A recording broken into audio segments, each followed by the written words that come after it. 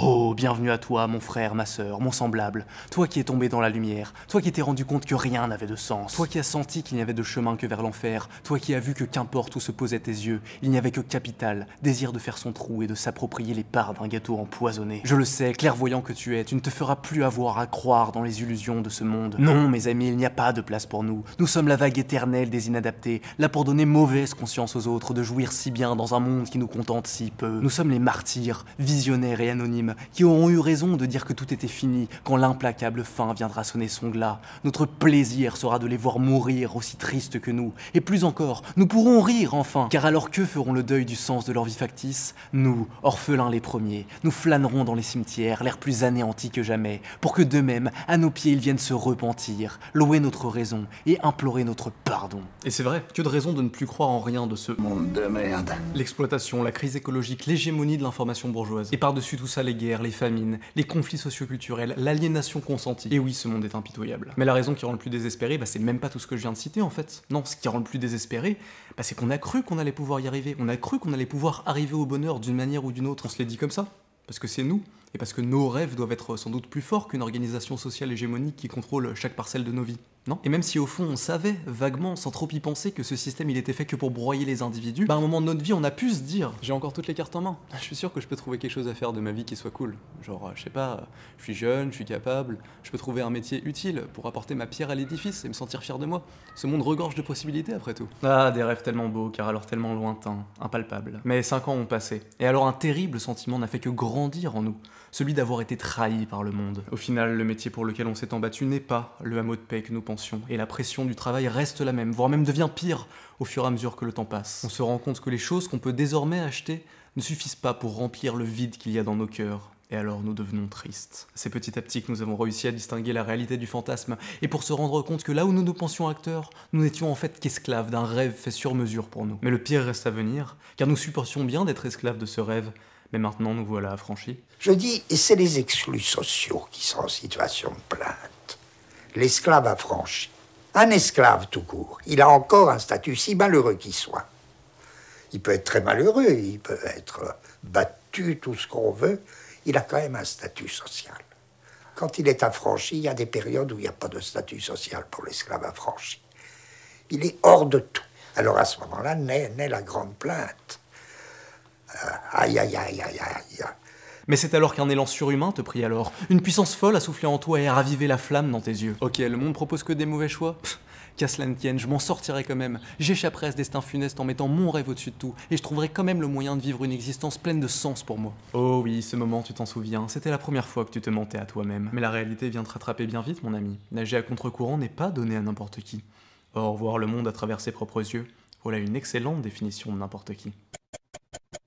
Cinq ans encore ont passé, et que nous reste-t-il? Toujours ces mêmes rêves lointains, mais cette fois-ci teintés d'un terrible souci, celui d'avoir vu le temps s'écouler lentement et constamment décevoir. Y a rien de plus terrible que ce sentiment, hein, être déçu de soi-même. C'est fou comment jusqu'au bout on est capable de croire à des choses, jusqu'au moment où il est juste plus possible d'y croire. Et à ce moment-là on tombe de très haut. C'est le moment de passer directement de l'allégresse d'un mirage à l'horreur à laquelle on croyait échapper. On peut alors sentir dans notre chair quelque chose qu'on savait déjà vaguement depuis longtemps sans trop y penser. De la naissance à la mort, toute notre existence est minutieusement organisée pour qu'on produise le plus de richesses possible. Et notre émancipation individuelle, nos espoirs et nos rêves n'ont absolument aucune importance pour personne et visiblement même pas pour nous. Et nous voilà maintenant affranchis d'un deuxième rêve. Mais cet affranchissement est encore plus dur que le précédent, parce que cette fois-ci nous étions vraiment persuadés que ce choix était le nôtre, et cette nouvelle est alors comme un couteau qu'on vient se planter dans les entrailles. Aïe aïe aïe aïe aïe. Et nous voilà alors, l'air hagard, d'abord trahis par un monde qui nous promettait monts et merveilles, puis ensuite trahis par nous-mêmes, qui nous pensions capables de tailler notre propre chemin. Ce monde nous a déçus presque autant que nous nous sommes déçus nous-mêmes, et ayant alors au fil des ans vu la laideur du monde s'accumuler,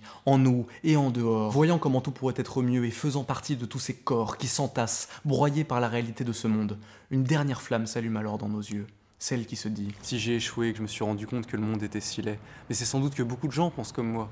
Je vois bien comment le monde pourrait être mieux. Combien sommes-nous intérieurement à penser la même chose? Nous abattrons l'ancien monde, et alors un monde nouveau se tiendra, et il sera beau encore. Mais chaque jour, on se lève, et chaque jour, on se rend compte d'une chose terrible, c'est que les gens ne sont pas déçus, les gens ne sont pas tristes, et ce qui pour nous nous paraît insupportable, eux s'en accommodent, voire même pire, ils y trouvent leur compte. C'est alors qu'un liquide glacial semble parcourir nos veines, et vient se poser directement sur notre cœur pour ne plus jamais en partir Ce monde est le seul que je connaisse. Et définitivement, il n'y a pas de place pour moi. Aïe, aïe, aïe, aïe, aïe. Nous étions encore une fois esclaves de nos fantasmes. D'abord, nous avons cru que nous allions trouver une place dans ce monde, et ensuite, plus désespérément, nous avons cru que le monde allait changer. Nous voilà de nouveau affranchis. Quelle place nous reste-t-il encore? À quoi pouvons-nous bien encore rêver? La folie d'un dernier rêve nous passe alors dans les yeux. Mais celui-là n'est plus de même nature. Celui-là est un rêve triste, car dans nos yeux ne s'agite plus que de la fumée. Si seulement les autres pouvaient être déçus comme moi, si seulement ils pouvaient être tristes, ressentir ma douleur par millions, alors ils comprendraient. Alors ils verraient comme nous avions raison de trouver ce monde laid et sans issue. Ah, de toute façon, la fin de ce monde est proche, je le sens. Il ne peut en être autrement. Heureux sont les simples d'esprit qui ne voient pas encore comme rien de ce qu'ils font n'est utile. Mon erreur n'aura été que de naître avec un QI et une ouverture d'esprit supérieure à la moyenne. À partir d'aujourd'hui, mon existence misérable fera une preuve de plus que ce monde rend la vie impossible. Oh, bienvenue à toi, mon frère, ma sœur, mon semblable, toi qui es tombé dans la lumière, toi qui t'es rendu compte que rien n'avait de sens. Eh oui, c'est ici que naît le dooming, du fin fond de notre dépression, alors que tout espoir de retrouver la joie nous semble impossible. Il ne nous reste plus qu'une seule solution pour retrouver un statut, que le monde devienne aussi triste que nous. Et alors nous ne serons plus seuls. On en vient à désirer la fin du monde. Mais ça, mon ami Doomer, laisse-moi te le dire, c'est dangereux. C'est extrêmement dangereux même, mais pas parce que c'est mal moralement de vouloir le malheur des autres, non, mais parce qu'en fait la fin du monde, bah, c'est aussi un rêve. C'est un rêve extrêmement rassurant. Il n'y a pas de mauvais choix à faire face à la fin du monde. Et je te vois, cette fois-ci, avec ce rêve qui semble plus réel que tous les autres, tant il y a de raisons de penser que ce monde va mourir. Si aujourd'hui tu ne te sens pas capable de rêver d'autre chose, alors laisse-moi t'offrir un cauchemar. Imagine qu'au fil des années, tu te rendes compte qu'en fait, tout va assez bien. Imagine ce monde rester juste banalement médiocre comme il l'est maintenant avec des jours où il fait beau, des jours où il pleut, pas de cataclysme particulier, pas de prise de conscience de masse, pas de révolution, non, juste des petites avancées sociales par-ci par-là, accompagnées d'une détérioration lente et presque anodine des conditions de vie. Une prise en charge du problème écologique, pas, assez bien pour régler le problème, hein, mais juste suffisant pour que la vie soit supportable pour nous jusqu'à notre mort, et peut-être même pour la génération d'après. Pas de rebattage des cartes, pas de grand soir, pas de période riche après le désert, non, non, juste une lente et anodine descente aux enfers, où nous, personnes de cette époque, mourrons de vieillesse en pouvant simplement affirmer à la génération d'après que bah, la situation est pire qu'avant. Et je peux te dire, hein, voilà ce qui fait réellement peur, hein. bien plus qu'un cataclysme imminent, parce que dans le cas du cataclysme imminent, il n'y a plus qu'à accepter la fin. Mais dans le cas contraire, bah, en fait c'est juste notre vie qu'on gâche. Imaginez, vous avez été déçu de ne pas voir vos rêves heureux se réaliser, et vous savez la douleur que c'est. Imaginez seulement la douleur de ne pas voir un rêve triste se réaliser. Imaginez avoir tout plaqué, avoir travaillé des années, avoir fait un prêt pour vous acheter un putain de bunker à la campagne en attendant la fin du monde, et que là, la fin du monde ne vienne pas. Et pendant ce temps-là, tout le monde a pu euh, continuer à boire des verres, a pu aller au ciné, a pu faire des projets communs, etc. En vérité, il n'y a même pas besoin d'acheter un bunker à la campagne, hein. ton bunker, ça peut très bien être ton appart. La vérité, est-ce qu'on a vraiment peur que tout s'effondre? Ou est-ce qu'on préfère juste se concentrer là-dessus pour éviter l'angoisse autrement plus badante? D'imaginer que les choses vont juste rester comme elles sont et qu'on a devant nous la responsabilité de ce qu'on va faire de notre vie? Moi, je sais pas, hein. Mais du coup, là, on est encore plus avancé. D'abord, on a cru en nos rêves et on a été déçus. Ensuite, on a cru en un changement et on l'a pas vu arriver. Et enfin, désespéré, on a cru que tout allait finir. Et même là, il nous reste l'enfer de pas pouvoir en être certain. Oui, nous n'en finissons pas d'être ridicules. Mais alors quoi, la, la, tristesse n'a jamais de fin? Si on peut plus croire dans la société, si on peut plus croire en nous, si on peut plus croire dans un changement, et que même à la fin, on peut même plus croire dans la fin du monde, mais, mais il nous reste quoi? Il reste un rêve. Un dernier rêve. Et ce rêve, il n'est pas comme les autres. C'est pas un rêve euh, joyeux ou triste.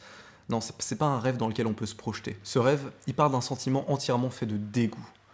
Un dégoût pour la certitude. Toute notre vie, on a voulu être certain de notre futur, et on cherchait alors désespérément euh, des signes d'une bonne étoile, mais nous vomissons désormais de nous convaincre. Tous ces signes d'espoir qu'on cherchait, bah, ils ont maintenant perdu leur goût, et ils sont acides en bouche. C'est pourquoi à partir d'aujourd'hui, nous ne goûterons plus que les preuves, et leur subtil goût de puissance.